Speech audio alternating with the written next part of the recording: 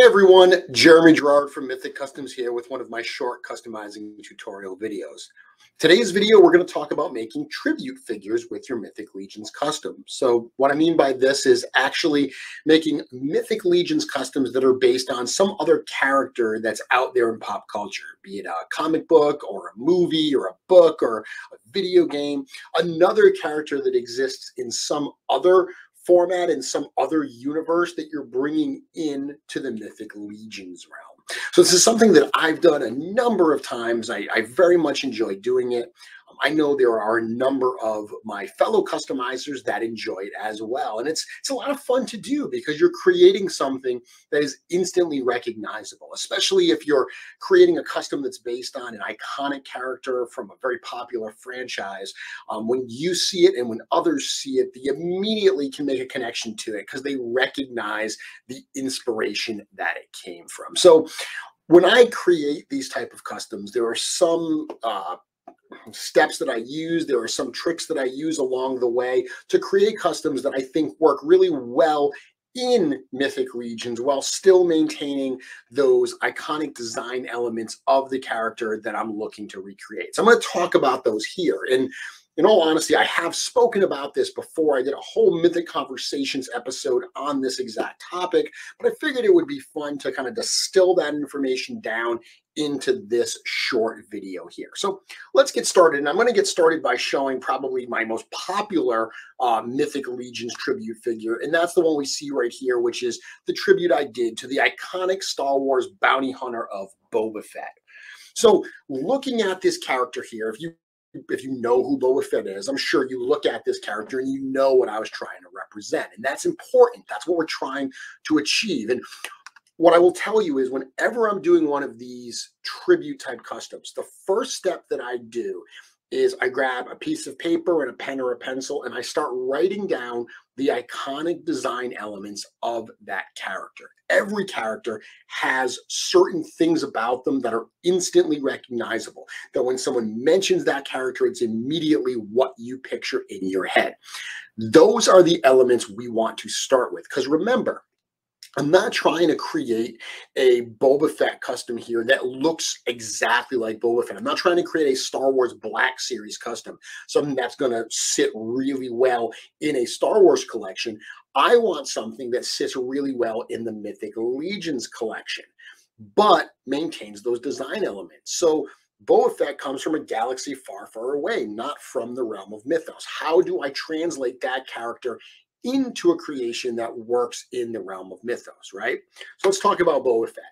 First iconic thing you have to go for is the helmet, right? That helmet with, you know, the red T with the black T in the middle of it, that T visor type helmet is the most iconic aspect of Boba Fett. So that is where I started looking at the Mythic Legions library, what part can I use to represent that? Well, this particular helmet, which was used on Gorgo Aetherblade and a number of other characters over the years, that's a perfect place to start because it kind of has that T shape, right?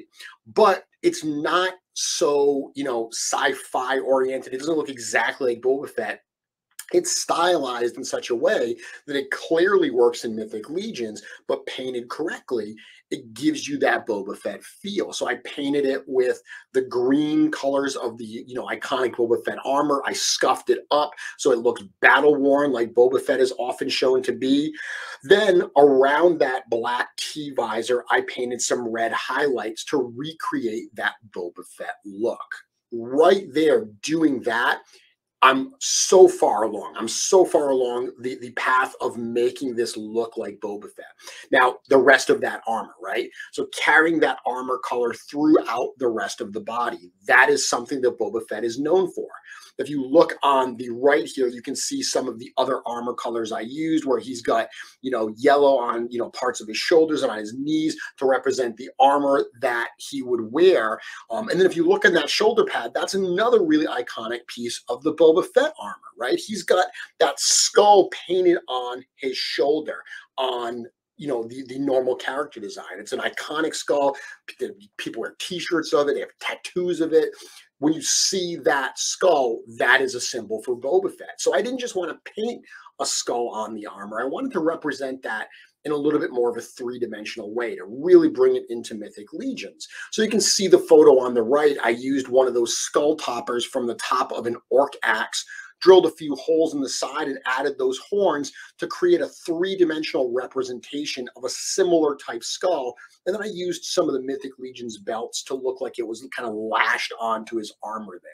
So that's another piece of the Boba Fett armor, the Boba Fett character design that I've brought in. One last one I'll point out is Boba Fett has a jetpack with a big missile out of the back. Another very iconic part of the Boba Fett design, especially if you're, you know, were a, a, child of the late 70s and early 80s, as I was. If you had that original Boba Fett figure, it had that big red missile in his back. You know, there's the classic story of the missile firing Boba Fett prototypes and all that. That missile is clearly a part of the Boba Fett design, the iconic Boba Fett armor. So while a missile would be inappropriate in Mythic Legions, you can look and see in the photo on the left, you can see that sword that's kind of coming up off his back there. What I did was I used one of the Mythic Legion, you know, big long swords, and the way that handle looks, it actually has a very similar shape to the missile that Boba Fett has coming out of his back. So by putting that sword kind of in a belt in the back, it works really well as just a knight, you know, an, a, a you know character with a sword kind of lashed to his back. But it also represents that iconic missile coming up off the back of the character. Now, if you look at this character here, just with those design elements, the armor colors, the helmet, that iconic T design, the skull on the shoulder, the, the sword up the back, those elements alone allow you to look at this and immediately know that this is Boba Fett. Whenever I show this off, at you know Legions Con or you know online on my Instagram, people immediately I don't even have to say that it's a tribute to Boba Fett. They clearly will see that, and that's because I've tapped into those iconic design elements of the character and translated them into Mythic Legion. So that would be the first step when you're going to do a tribute. Write down just a couple. You don't have to hit them all right? But write down a couple of the iconic design elements of the character you're looking to represent and find ways to integrate them into your custom. I'll show another one, another example of that principle from yet another non-fantasy, you know, non-sword and sandals type property, and that's the tribute I did to the G.I. Joe character of Zartan. So you look at that here. Obviously, this has those iconic Zartan-like characteristics. So we did this for Boba Fett. What are the iconic Zartan-like characteristics, right?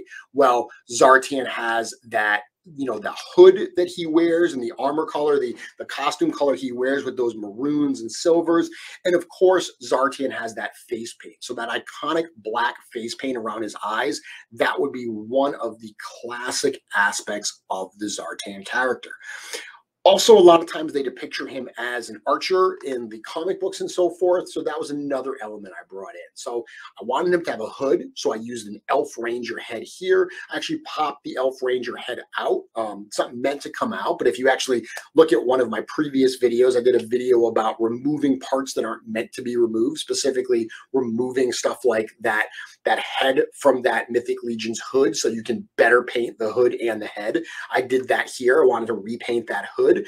And I wanted to repaint that head to include that eye makeup.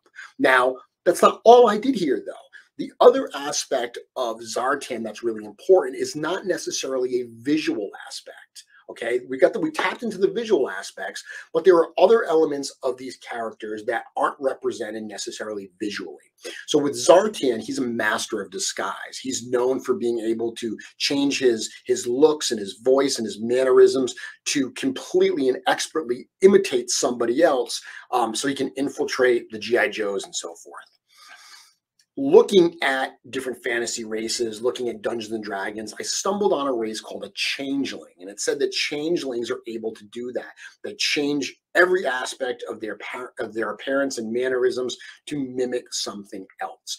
Um, in fact, the changeling race is very often distrusted in Dungeons and Dragons because you never know if the person you're engaging with really is one of your loved ones or if it's a changeling in disguise. So I thought about all of those traits of that race and they matched so expertly to Zartan, you know, being the leader of the Dreadnoks, being kind of a distrustful, very criminal type character. All those things together, I said, that's a perfect connection. So not only did I hit on some of those iconic design elements for the character, but I also found a way to expand on the character a little bit to bring him into the realm of mythos with uh, a race with some you know attributes that really did make sense in that fantasy format. So this is my changeling version of the GI Joe character of Zartan. Now, another principle you can do that I did with Zartan specifically is think bigger, think beyond just that one character and start working on series. If you're doing tributes to characters from Star Wars or G.I. Joe, there's a ton of other characters that you can do as well.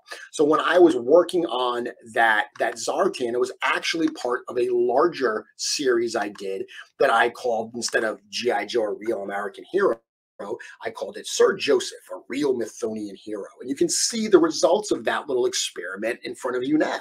Um, on the left, I have all of my Cobra type characters, my Cobra tributes I did. That's Baroness, Destro, Cobra Commander, Zartan, Storm Shadow, and Firefly. And then on the right, we have the Heroic Joe tributes I did. Snake Eyes, Scarlett, Rock and Roll, and of course the leader as that heroic looking knight, Duke.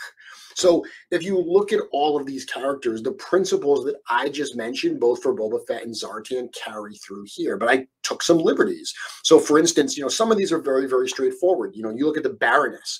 So Baroness is often depicted as having you know black armor with the red cobra logo right in the chest she's got black hair she's got glasses um, that was a really easy one to do. I just used a Vampire Legion builder, painted a little bit of the armor motif in the center red, and then I used one of those unhelmeted heads from a Delphina figure. That alone really gave me a convincing Baroness. But what about the glasses, right? The glasses are an iconic piece of that character design. Well, this is a lesson where sometimes things don't always work. I tried some different glasses on the Baroness and they looked really bad. They looked really, really cheesy. They looked out of place in the realm of mythos. So that's another lesson I would offer for you is don't feel like you have to be totally, you know, true to every element of the character design because there will be some that don't work. And it's okay to leave some on the shelf and not bring it into your custom if you feel they don't. You look at the rock and roll. So rock and roll, that was a total rethinking as opposed to, you know, a barbarian with, you know, blonde hair and big weapons. I could have gone that way. Instead, I wanted to make him a dwarf. So I made him a big dwarf gunner type character, still have, you know, that iconic, uh, you know, blonde here, but instead of it being on his head, I did it as a beard here. So you can have some fun with these characters as well and rethink the way they're going to look. Cobra Commander. So Cobra Commander being the leader of Cobra, the leader of the Serpents. Um, there have been times that they've represented him with much more snake-like features. So I really leaned into that. And there's a race in Dungeons and Dragons called the Yuan-ti that are totally serpent characters. So I reimagined him as being a serpent, using the green bones from a scaphoid figure to actually be kind of more like, you know, green, uh, green limbs that are part of this, this snake-like character. So you can have a lot of fun with these type of tributes by following these principles and just expanding beyond them.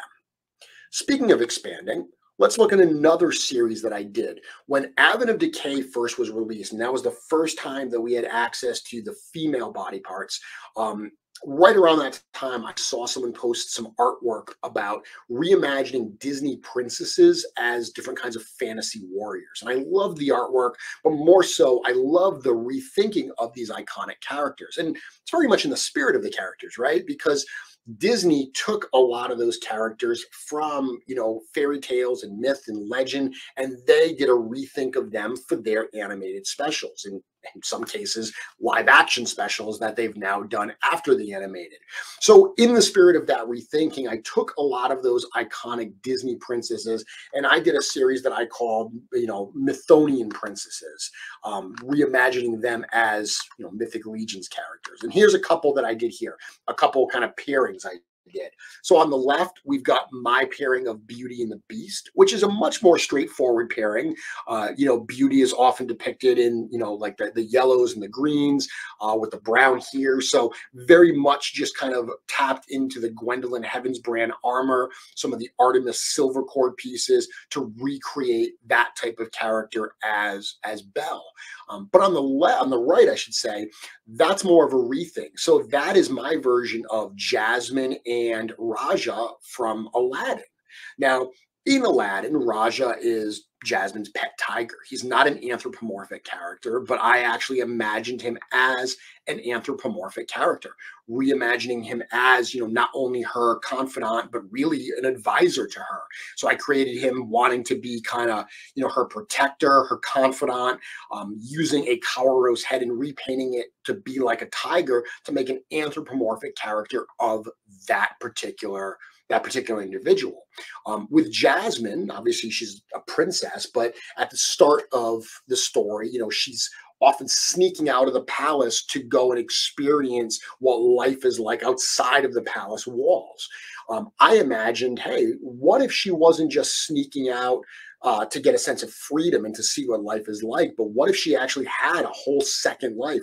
What if she was Jasmine, Princess of Thieves? So instead of Aladdin, Prince of Thieves, I'm, I'm, I'm spinning that and I'm thinking Jasmine, Princess of Thieves. What if she really runs this total you know crime underworld as part of you know the the area outside of the palace where she's the princess. That's a really interesting kind of evolution of the character. So when i design this particular custom that's what i'm imagining. I didn't tap into a lot of the aspects of jasmine here. I really just took the idea of a little piece of what she did in the story and almost kind of almost treated it like marvel what if right?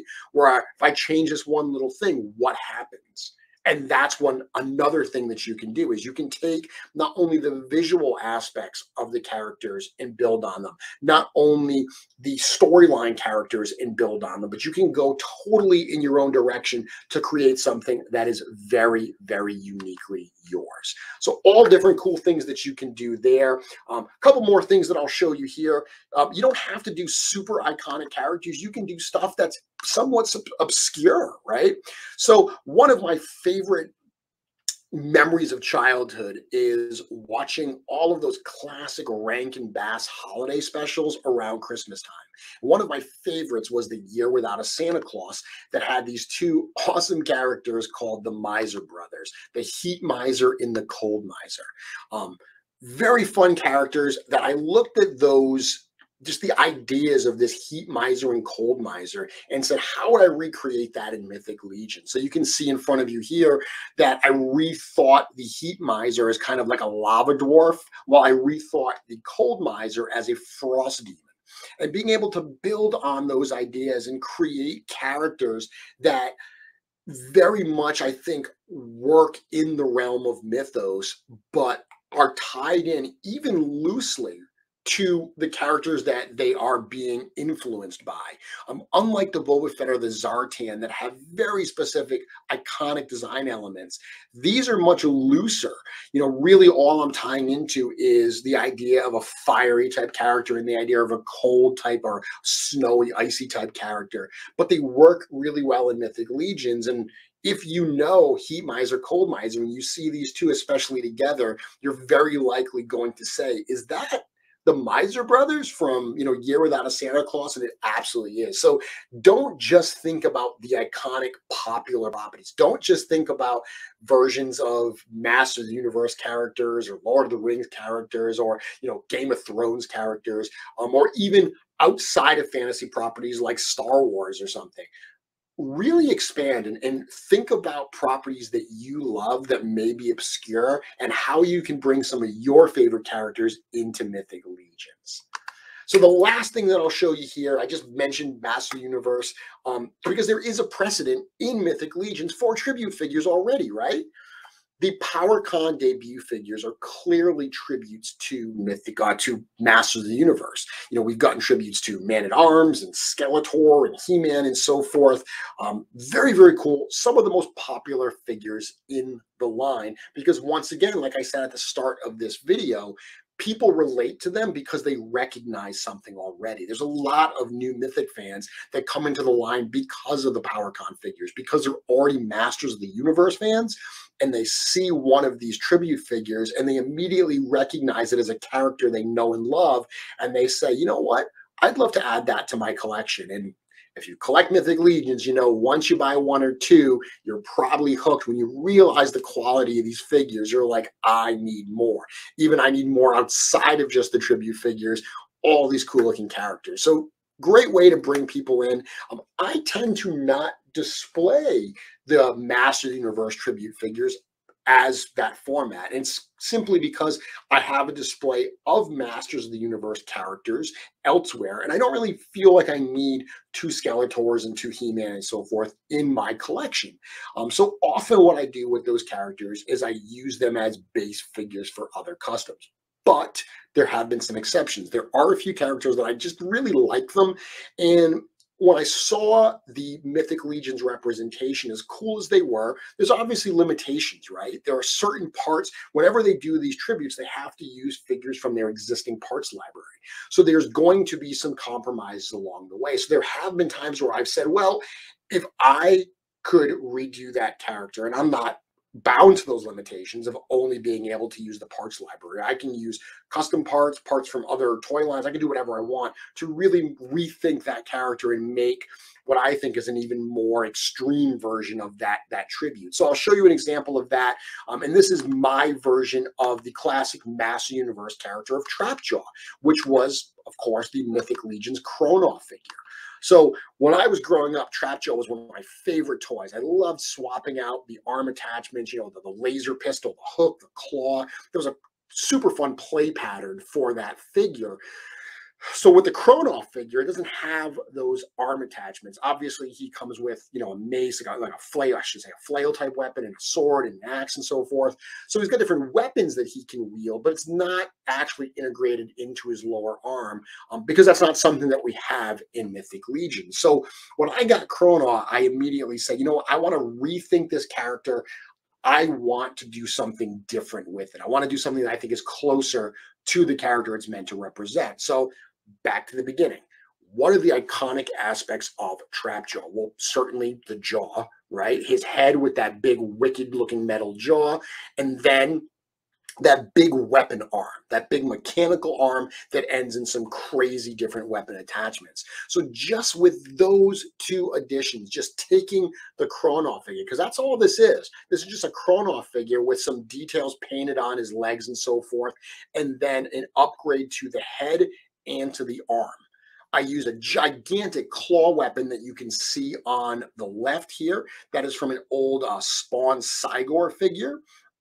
Attach that right to the bottom of the lower arm with a little blue tack. I use a really big, you know, shoulder armor piece from a World of Warcraft Arthas figure. Um, if you check out my previous video where I talk about my five favorite fodder figures to use for customizing. I talk about that Warcraft Arthas figure, and that's what I used here. Um, and then that helmet was cobbled together from a variety of places.